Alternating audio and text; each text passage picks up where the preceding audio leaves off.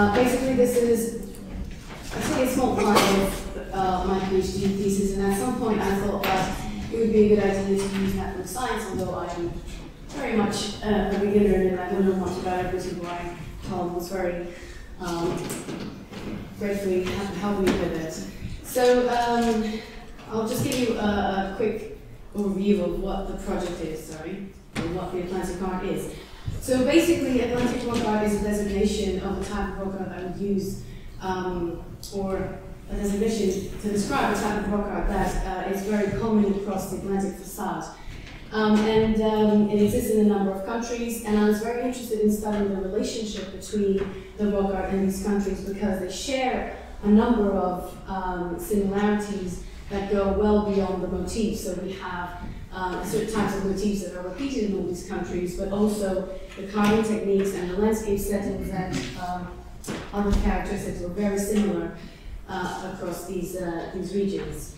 So basically, um, I talked about, or what the, the, countries that I've included, the modern countries that I've included in my study are basically the British Isles and the two in Iberia, although some people extend it to France and even some to Scandinavia, although I'm not quite sure that they're the same thing, so I count them out to a certain extent. Um, in terms of the iconography, Atlantic rock art is very much based in geometric and abstract motifs. So uh, the most, the best known ones are definitely the, the concentric circles, we call cup and rings, but we have uh, cup marks, we have all sorts of compositions with weighted lines, um, labyrinths, spirals, but we also have some regional preferences, and the most striking are the ones in Iberia, where we also have animals and uh, weapons that are carved alongside the geometric um, symbols, although we don't really know whether they are contemporary of each other or not, but in any way, in any case, they are usually included in the Iberian strand of this tradition. So in terms of landscape location, they are all, almost all, um, open air um, carvings and boulders and mountaintops. They're, they're usually located in relatively accessible areas of the, of the landscape, in mid-slopes. We tend to, uh, or at least we think that it is significant to say that they tend to control, visually control wide areas of the territory. Um, and lately, um, there are some suggestions that these carvings would actually be associated with domestic context, so not very far from dwellings and, uh, and areas of economic importance. So in terms of the, um, in terms of the, uh, the chronology, it, for a very long time, researchers thought that this type of rock art was uh, a product of the Bronze Age, but we now have very good indications that it probably started sometime in the Middle Neolithic and it extended all the way to the early Bronze Age, at which point it starts being used in different contexts, and eventually it dies out. So, um, what I really wanted to know was to, uh, so the character of Atlantic rock art, what it is, what does characterize Atlantic rock art, investigate the cultural and social context, um, the connections between these areas, and, and also whether this is really a wide, unified phenomenon across these very kind of distant uh, regions, um, or if they are kind of occasional. So um, the thing is that there is a, the, it's not just the shapes of the, of the, of the motifs, so the carving techniques, there's all sorts of, of um, characteristics that confer a sense of similarity when you're in all of these regions. You say, oh, I know this rock in Ireland, but you know, I could place it in, say, in Spain, and it's, it, it, would be, you know, you wouldn't find it weird to, to, to see it there. So there's been some suggestions that Atlantic rock art could potentially represent tangible evidence for connectivity between these regions, and I was interested in exploring that as well. So I thought that I would have to define similarities and differences for these regions, but I needed to find uh, robust ways of doing this, because if I was to compare, say, cup and rings with cup and rings, then that wouldn't, wouldn't really give me good results. And also if I was to compare, say, cup and rings alongside animals with areas that just have cup and rings and the difference is obvious. So I needed something more robust to um, compare these, uh, these regions with each other. So I've selected um, five study areas in the countries that I've mentioned before, following a very strict um, selection um, criteria of selection, and, um, and so I ended up with the peninsula of the Lancers in Scotland, the plateau of Rombalds Moor in England, um, the peninsula, uh, well, Iveragh Peninsula in Ireland, Barbanza Peninsula in, uh, in, um, in Spain, and also Monte which is kind of a mountain in, in the north of Portugal. So I was very interested that they all had very well defined uh, topographical um, limits to, you know, uh, have a nice background to my to my, uh, my study areas. I've also developed this um, multi-scalar methodology based on the, the, the different levels of, of, um, of detail that I, that I needed to, that I thought would characterize Atlantic rock art. So I have a very small scale that was dedicated to the motifs, basically, where I was looking not only at the shapes, but also at the way that they were built. Uh, so I figured, for instance, that the cup and rings, they're not just cup and rings, there's all sorts of variations. If you look at the rock, they all look the same, but if you look in detail, there's lots of little differences between these cup and ring motifs and the way that they were actually carved. So the carving techniques as well. Um, and, um, and then at a, at a medium kind of scale of analysis, I was interested in looking at these motifs uh, in their wider compositions on the rock surface, but also how they interact with the rock surface, because often they take advantage of the natural fissures and other natural elements of the rocks themselves. Um, and so I wanted to know what the pattern in this in relation to that was, but also the rock um, itself, so whether there were on outcrops or boulders or uh, you know if there was any, any particular features of, of the rocks that would um, have brought them to, to, choose them to carve. And then um, I have a wider environmental um, scale looking at the wider landscape, which I kind of subdivided. So I usually say that I have a three and a half uh, scale methodology because I wanted to look at the wider picture, so at the peninsulas, but in some cases some of them are so large that I thought that I'd have to uh, kind of define smaller areas to look at the more immediate surroundings of each of the, of the rocks. So uh, these are basically my, um, my scale of analysis. So um, I then organized uh, the data that I was that I was gathering in a relational categorical scheme that was subdivided um, in a number of attributes which, which characterize rock art um, in its many components. So the motifs, rocks, uh, rock types, landscape techniques, behaviors, uh, which then resulted in a very complex system composed of 11 categories subdivided in over 300 attributes. Um, it does sound like a lot, but it did give me a very good insight into the, uh, the art of each of these, of these regions. So I had a, very good deal of, um, detail.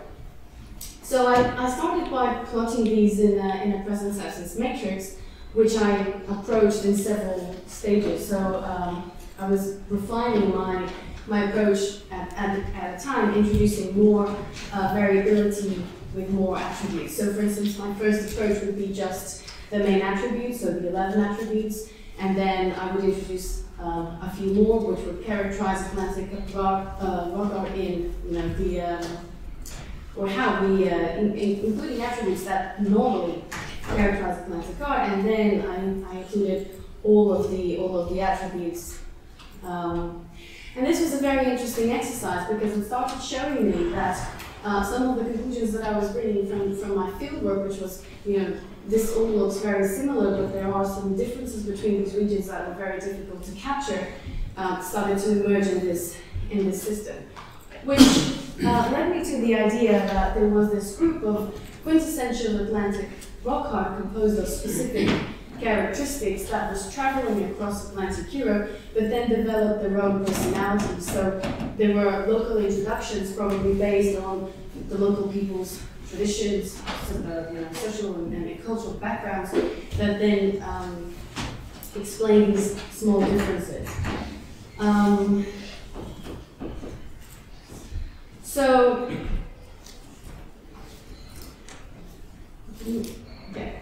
So uh, I was now kind of coming up to the idea that um, there was this, there was this, um, so these relations between between these regions, which had been explored previously, roughly, um, through other types of of, um, of material culture, um, but I needed to find out more how how that happened and, and, and needed to kind of find a way to um, well pin down those, uh, those those relationships, how they traveled, uh, where from and where to. Obviously, we don't really know that, but um, yeah. So basically, um, I started looking at principles of development, developmental psychology to explain these possibilities of cultural transmission of rock art.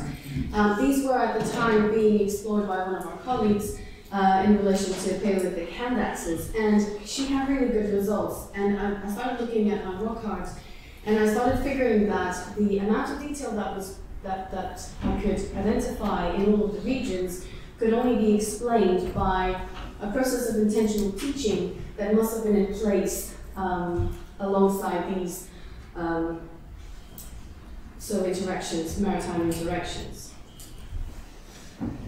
And so I, I needed to test this, uh, this hypothesis and I started looking at or doing it um, in, uh, with, with correspondence analysis. I was to relate all my data, not having to select anything, but I was having very complex graphs that, that were driving me a little bit insane to be honest and I started having to pick out you know relations to, to leave out to, to make it more clear and I wasn't very happy with that. So this is just relating to two of my study areas. If I was to put all of the five on my, all of the five ones here you can imagine how, how complicated that was that would, that would be.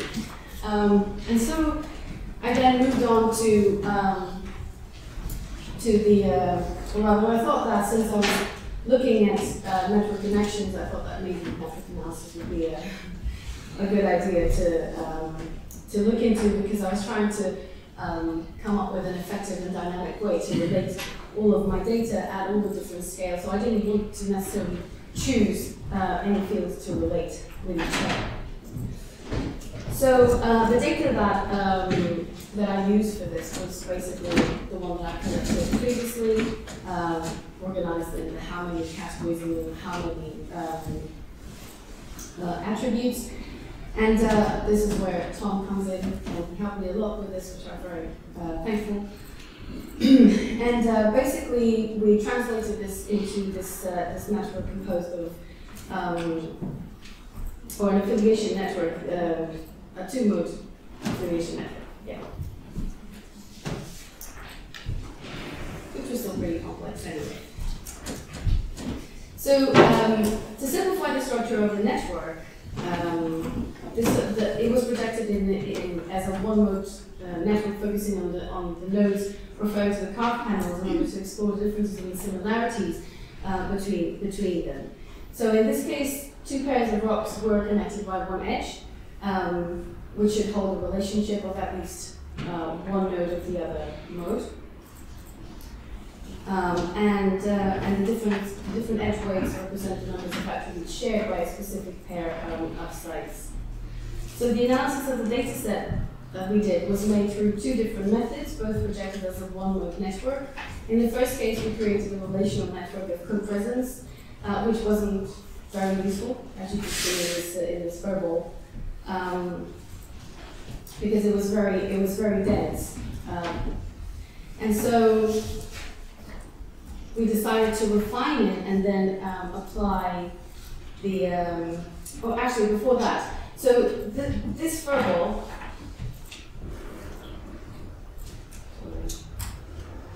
so this furball then refine it and uh, I came up with this map which basically shows that you know, Atlantic art is pretty similar in all of the regions because we have almost the same number of attributes being shared by all of all of the uh, all of the uh, of the study areas. Um, but this wasn't so. There wasn't a lot of. There were no patterns emerging. This wasn't really telling me uh, much. And so then we refined it a little bit. Uh, and to overcome this limitation, we developed the second approach of the network using the Louvain modularity, um, which measured the density and the edges within um, and out, uh, within the groups of nodes, optimizing the relationships and rendering the best possible groupings for the uh, nodes within the network. So strong connections started to emerge and weak links um, also uh, began to show up. Um, and so there was, you know, we, we started getting some similarities and differences. Now, similarly to what happened with the, the presence absence matrix, I did this in a, in a phased kind of way. And the first data set that we applied this to was what we call the package, which corresponds to the quintessential um, art characteristics that I showed you previously. So this is the package. Um, and basically, uh, it shows that it's basically present in all of the regions. So there is no um, there's no regional logic emerging uh, to it. You can tell that basically rock art is pretty much a global phenomenon looking at this because it is present in all of the regions with the same sort of, of uh, weights. So, and then we started refining this into the, uh, into the other approaches, um, and we contrasted the, the, the results of the, um, of the package with uh, three more renderings of the, of the network. So each of them was more complex than the previous, um, including more variability at each time.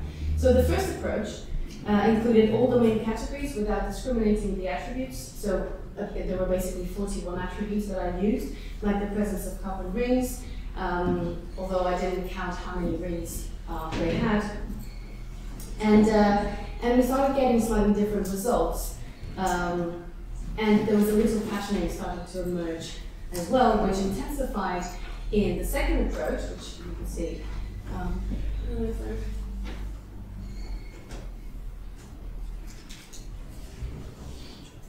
Yeah, so that would be the first, the first version, but this would be the second. Um, but anyway, so um, we start getting some connections, some relationships that are stronger between some of the regions. So the Machars and Iveragh, for instance, so Scotland and Ireland uh, start showing closer relationships. Obviously, um, the regions of Portugal and Spain are quite uh, tight as well.